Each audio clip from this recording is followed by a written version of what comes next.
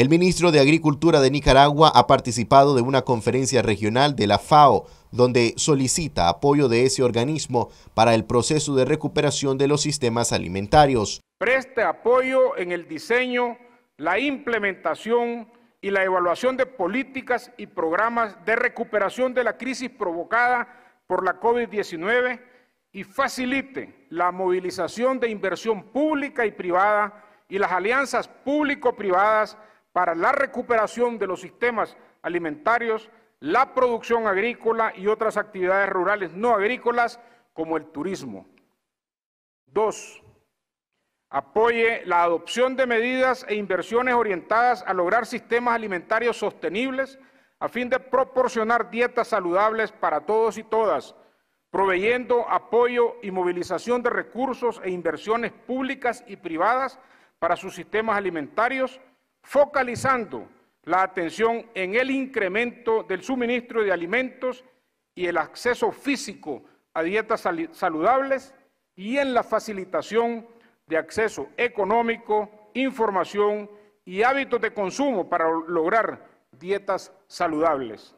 También presentó los acuerdos de un reciente encuentro virtual sobre la situación de la agricultura en la actualidad los participantes resaltaron la importancia de la Agenda 2030 y recomendaron que la FAO apoye a los miembros para avanzar en su cumplimiento, centrando los esfuerzos en el sector agroalimentario y nutricional, las poblaciones rurales y el desarrollo sostenible, sin dejar a nadie atrás.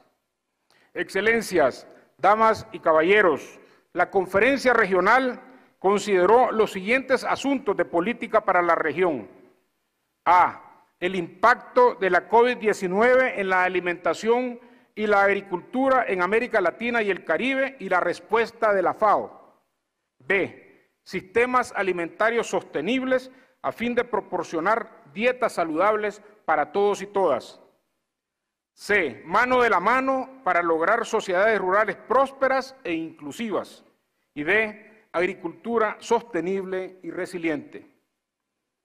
Excelencias, presidente, la conferencia regional reconoció la relevancia del marco estratégico de la FAO, respaldando su mayor fundamentación en los objetivos de desarrollo sostenible y recomendó que la FAO continúe priorizando el fortalecimiento de los enfoques de género, juventud y resiliencia y la inclusión de pueblos originarios, indígenas, afrodescendientes y otros grupos étnicos. Marcos Medina, Noticias 12.